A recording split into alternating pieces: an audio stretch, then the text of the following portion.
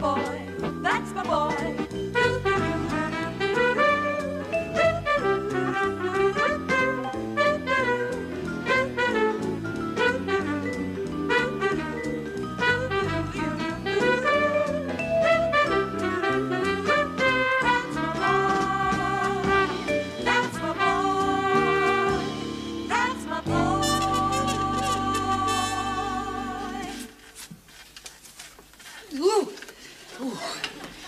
To get danger money. Ida, what are you doing up there? Wishing I was down there. Oh, give us a hand. Oh, oh, thank you, love. Now, will you put the ladder away? Oh, I've gone all giddy.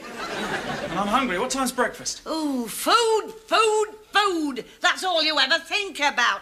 Who had crisps in here last night? You did. Oh, then I'm a messy eater. Oh, Go and get the Hoover. Ida, it's eight o'clock on a Sunday morning. I know, and I'm all behind. Oh, never mind the Hoover. There. I've never done that before. Now, that'll worry me all day. Now, you know, that ladder won't put itself away, you know. All right, all right. Look, why are you in such a bad temper? I'm not in a bad temper. If I was in a bad temper, you'd be the first to know. Get those steps out of here! Ida, I'm sorry I overslept. Why didn't you wake me? Can I do anything? Nothing that'll please her, the mood she's in. Can I polish the furniture? Done. Clean the silver? Done.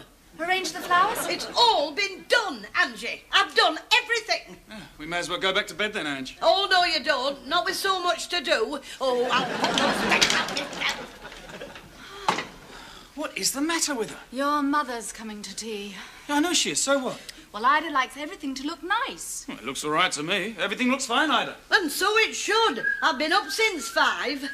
Oh, that'll be the paper boy. I'd know that whistle anywhere. Quick, go and catch the papers before they hit the doormat. Eh? Well, I don't want them raising dust. Go on. Ooh, I've thought of something you can do. It's not cooking, is it? It is not cooking. I said something you can do, not can't do. Well, what is it then? It's the only worthwhile thing they taught you at that posh school of yours. Oh, cut thin bread and butter. Right, and don't make crumbs. The Times are observer, Angie. Neither. I don't want them creased. right, there, and. How does that look? Like a waiting room. That's just the effect I want to achieve. Neat, but not welcoming. Putting the news of the world out. Are you mad? And let her know you read it. Good, I'll take it back to bed with me then.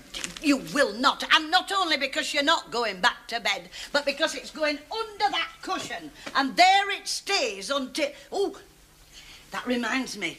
He hasn't been to the joke shop again, I don't think he'd dare. putting his other mother on a whoopee cushion. I was mortified. You laughed as loud as anyone. Only after she'd gone. How could you? I wanted to break the ice. Well, you did that all right. She jumped a mile and broke a teacup. Now, what next? Oh, yes, I've got to clean under my bed. Ida, my mother is not going to look under your bed. She won't need to. She's got x-ray eyes. Oh, yes, then you'd better clean under that chair. Look, if you knew how much I dread your other mother coming to tea, you wouldn't make jokes about it. I'd rather go to the dentist. And if you knew how much I dread going to the dentist, you'll know how much I dread having your other mother come to tea. oh, I'll go and clean under my bed. Oh, yes, speaking of beds, no nipping back for five minutes. I know you two.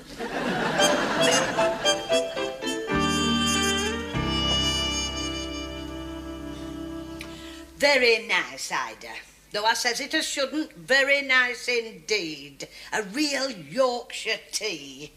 Now, how do I look? Lovely. And heaven help who says different. now then. I wasn't, was I? Angie'll know. I suppose we ought to be getting up.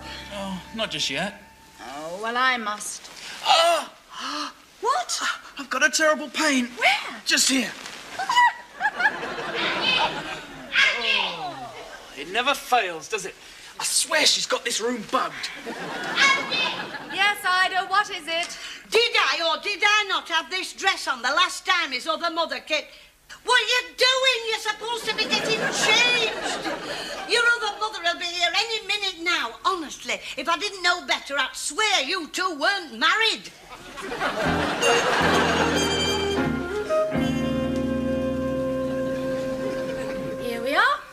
About time. How do we look? Flushed. And I only hope your other mother doesn't wonder why. I'll tell her we've been jogging. Tell her what you like. I'm sure it's nothing to me. Look, how long are you going to keep this up? I don't know what you're talking about. As long as I like. Oh, you've laid the table. No, I haven't. Six little men in white coats came and did it for me. No, I mean, last time we sat over there and sort of ate off our knees. We did. He sat over there and sort of ate off the floor. And did you see the look on her face? Never again. We eat at the table. And kindly note, there are napkins. No wiping your fingers on the cloth. You've forgotten something, haven't you? Have I? What? Whatever's supposed to go on there. That is for her contribution. you know she always brings a cake. Well, it's going on there. I've had it reinforced. oh, yes. That reminds me. Whose turn is it to have a slice of her rotten cake? I know it isn't mine. And it's not mine. Well, it's certainly not mine. Look, I had a piece last time. I know you did. I found it in your trouser pocket. Ooh, what a way to start Monday morning. A trouser pocket full of Black Forest gateau. Thank God I knew what it was. right then, whose turn is it to have a slice? Roberts. Oh, oh, thanks very much. Why me? Because she's your mother. Only one of them? What time's she coming? Four. Oh, she's two minutes late. Impossible, she's never late. She is this time. I've set this by Big Ben, and she's two minutes late. Go and let her in and try to smile. And you can ring Big Ben and tell him it's two minutes fast. Oh, I don't. What now? Everything is fantastic. Thanks. Oh, it was nothing. Come on, you've worked yourself into the ground for someone you don't even like. Don't even like? That's the understatement of the century. I loathe that woman. I don't want to cause you pain, love, but I truly hate her. As far as I'm concerned, I could put her in a box, tie her with a ribbon, and throw her in the deep blue sea. Oh, Mrs. Price. Good afternoon, Mrs. Willis. Robert, dear. Oh, you look flushed. Let me feel your forehead. Uh, no, Oh, let her. It won't kill you, and it'll make her day. no, I'm, I'm all right. Why are you flushed? Um, I dare you. Angie and I have been jogging. Good, I'm told it's wonderful exercise. Oh, yes, it is. Good. Now you've started, I hope you'll keep it up. He will. well, come on, take your mother's coat. Oh, thank you, dear. You will be careful with it, won't you? Why, does it bite? I'll go and hang it up. Do, dear, on a padded hanger, if you have such a thing. We have in my wardrobe. Just check my mink on the bed. Do sit down, Mrs. Price. Thank you.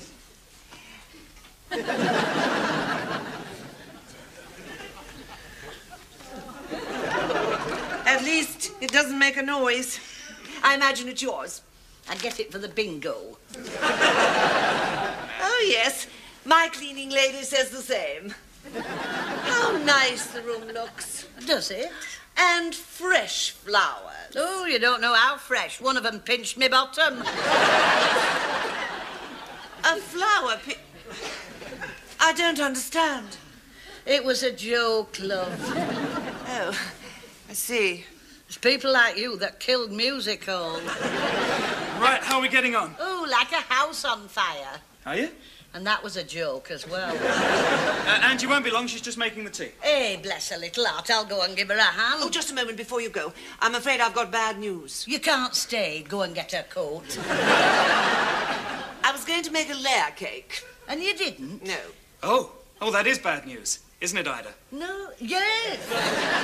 I'm really disappointed. So am I. I don't think you need be. Why? I've made sausage rolls instead. A piece of pork pie, Mrs. Price? No, thank you. Or a salmon sandwich. It's the red, not the pink. Or there's corned beef and pickle if you prefer. Don't laugh, but I'm saving myself for the sausage rolls. I'm trying to save myself from them. Shane, love, a nice prawn patty. No, thank you, not for Robert. He'd rather have a sausage roll, wouldn't you, Well, dear? no. I knew it. And I never saw his lips move. One for you, Angela. Oh, no. Uh, they look delicious, but no thank you. Why ever not? She's d- on a diet. So am I. Pastry's awfully flattening. Oh, not that, dear. That's rough puff. These are quite good. They're very good. I've won prizes for my rough puff. I wish you'd stop saying that. Do you want a bite, Ida? Robert, we're not in the playground. Mrs. Willis will have a roll of her own. It'll be the first for years. How did that get there? Oh, well. What do you think of it? Robert, she can't talk with her mouth full. I can, you know. It's lovely. I'm right enjoying it. Oh, oh. You haven't found a piece of bone. I have.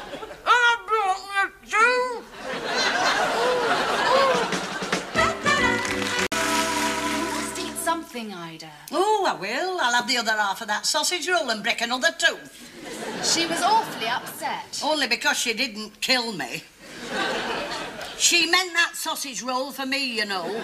She put it on my plate. I just turned to you to speak. I turned back, and there it was, full of bone. And she knew it. Oh, don't tell me she didn't. Oh, I'd love a cup of that tea. Well, have one then. Oh, I daren't. It might melt me chewing gum. What chewing gum? The bit that I've got wrapped round my tongue. And you won't go to a dentist. For the hundredth time, no, I won't. Robert, tell Ida she's got to go to a dentist. You've got to go to a dentist. Is this tea for me? She's got chewing gum wrapped round her tooth. Whatever for? Well, it's to cover the jagged edge. Well, I kept playing with it. You know how you do. My tongue kept going back. Oh, What?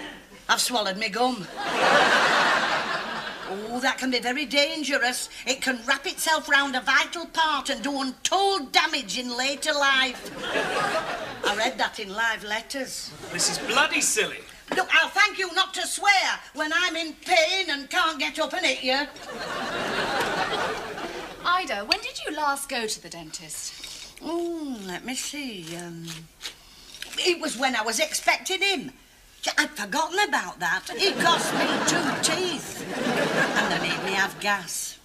I pleaded for cocaine, but no, that mask came down on my face. I can feel it now, that sinking feeling. I'm going. I'm going. Oh, It's all different now. Oh, yes, that's what they said when I had him. You can have twilight sleep, they said. And what did I have? 16 hours of mortal agony. And 24 stitches in places I didn't even know I had. no, thank you. I'll stick to my chewing gum. Look, I'll take you and I'll bring you back. Oh, yes. And what about that bit in the middle? Will you sit in the dentist chair and open wide? I wish I could, but honestly, it won't hurt. Oh, no, it won't. I know it won't. Because I'm not going.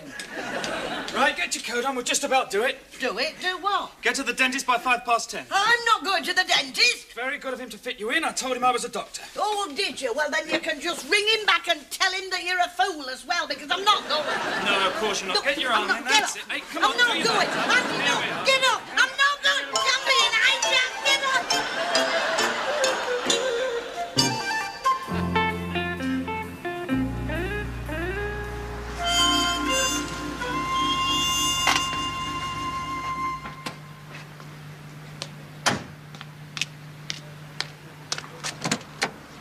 dirt in now.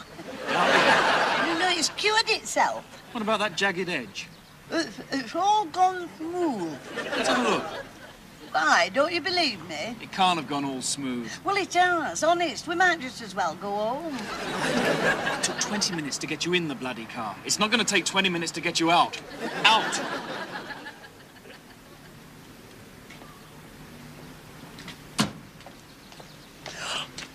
now what? I've left the gas on. We're all electric. Well, I've left something on. The tap. I've left the tap on. We'll be flooded out. No, we won't. I'll ring the hall porter. He's got a pass key. He would have. I've left my handbag in the car. I have really, Shane, honest. But you won't need it. Now, come on. Yeah, but I will need it. My smelling salts are in it. Shall I just nip back? I'll go. Stay here.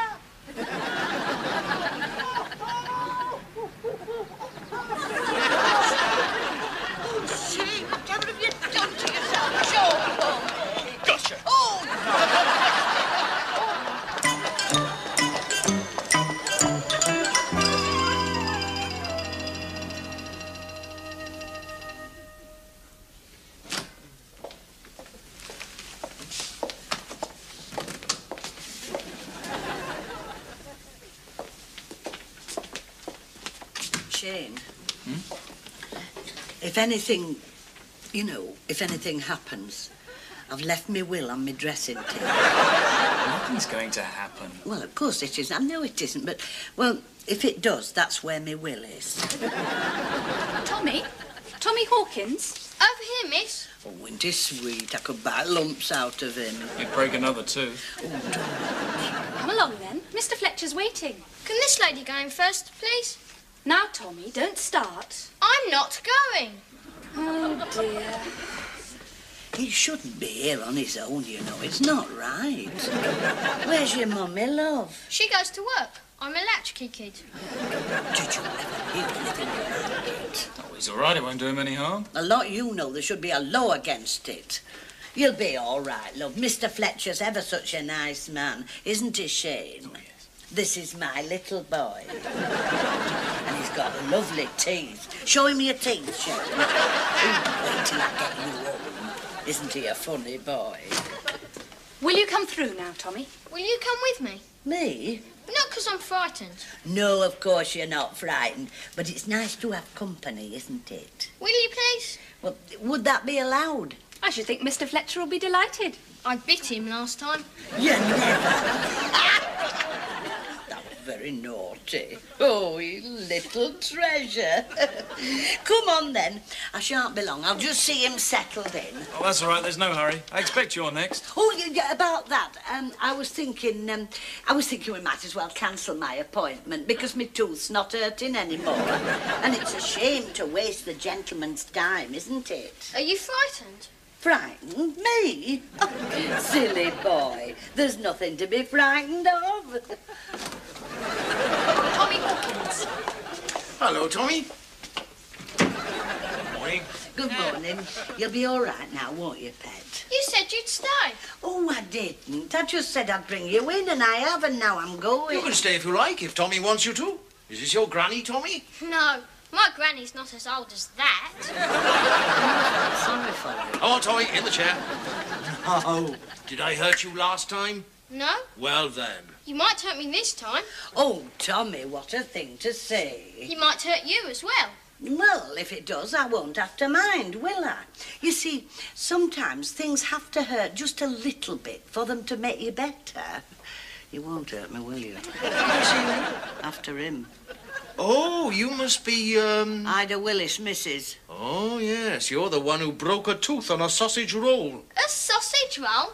You must have rotten teeth. It was a rotten sausage roll. Will you be able to mend her tooth? Or will you have to dig it out? Well, Answer him. well, whatever I have to do, Mrs. Willis won't be frightened, will she? Oh, no. I mean, oh, no. Of course I won't. Not a bit. You go first then. What? I dare you. Well, Mr. Fletcher doesn't want to take us out of order, do you? Oh, I don't mind. Whose side are you on? I don't dare you. Oh, the things they come out with. oh, you don't want me to go first. You want to go first, and then you get it over with, won't you? Scaredy cat. Nobody calls me a scaredy cat. Right, out of my way. Now then, who's a scaredy cat? What's this for? Oh, that's only to protect your dress. What from? Blood. Thanks, pal. Right, let's have a look, shall we? Open wide. That's not enough. He has to get the whole of his hand in. Does this child have to stand quite so near? Mrs. Willis, will you please open your mouth? Oh, half my life they've been telling me to shut it. Come on, Ida. You survived the blitz. Ah, that's better. Now then. Mm.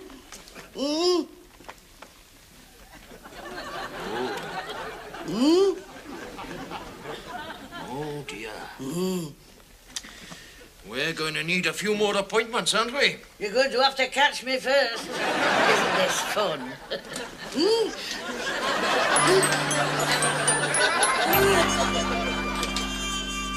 You didn't mind my dropping round. Mind? Oh, of course I didn't mind. You're part of the family, almost.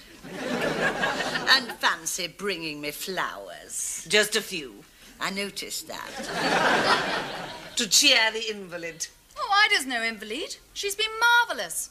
When you think how frightened you were before you went. I think how silly I was. I'd never mind going again, you know. Hi, darling. Hi. Hi, mothers. How are you feeling, Ida? Fine. I was just telling your other mother. I quite enjoyed my little trip to the dentist. He's a lovely man. Who is? Mr. Fletcher, love, the dentist. He's got lovely eyes. I'm glad you liked him. Oh, I did. Yes, he's quite dishy. He thought you were quite dishy, too. You see, I told you he was a lovely man. How do you know? He phoned the hospital this morning. You were supposed to make six more appointments. I know. I will when I'm passing. Now, that's all right. I popped in and did it for you. Here's your card. They're all Tuesday morning, so I can take you there, wait for you, and bring you back. He's a good boy to his mother.